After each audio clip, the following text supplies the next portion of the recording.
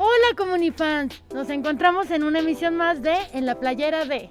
Soy yo, su amiga Jade París, promotora cultural comunitaria, y hoy nos encontramos aquí, en este parque que se llama Mariano Matamoros, entorno Pilares Reforma Iztaccíhuatl. Acompáñenme para que descubramos todas las actividades que hoy tenemos para ustedes. Vamos.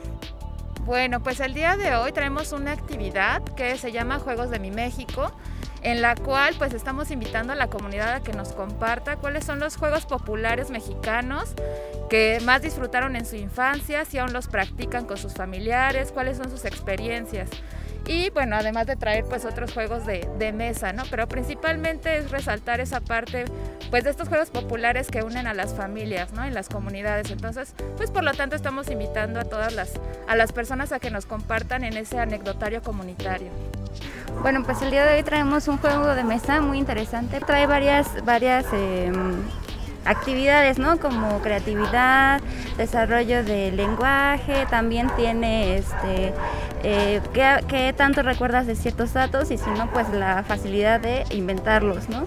Entonces es, un, es una dinámica, es un juego que dura aproximadamente 30 minutos, en donde pues puedes desarrollar todas estas habilidades y pues es muy divertido, ¿no? Las personas que han participado en este, en este juego pues han comentado que les ha gustado, que se divierten y que pues pues es un momento de, relajación al jugar este juego. Estas dos actividades, tanto la del Día del Maíz como la de la muñeca Lelegue, nos ha ayudado mucho a que las personas puedan identificar un poco también las artesanías eh, de cada estado, ¿no? No solamente identificarlas como la muñeca Lele, sino la muñeca Otomí o la muñeca Mazagua, el Día del Maíz, no solamente saber pues que eh, es, eh, es uno de los elementos más fuertes del plato mexicano, sino también para saber que hay, un, hay una fecha que la conmemora y que tiene que ver con el rescate de, del maíz nativo, como lo comentaba.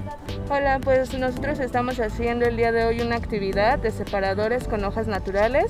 Esta actividad pues ha sido eh, pues muy llamativa para la gente porque les hemos un poco acercado a la lectura, les explicamos que un separador no es solamente para los libros, lo hacen mucho los niños, entonces eso también puede servir para sus libretas de tareas, puede servirles para la escuela, de hecho puede servir hasta para un regalito.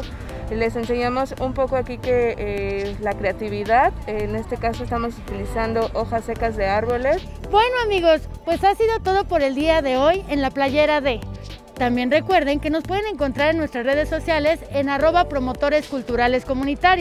Y recuerden, nosotros somos promotores culturales comunitarios de la Secretaría de Cultura del Gobierno de la Ciudad de México. Hasta la próxima. Su promotora... Lo siento.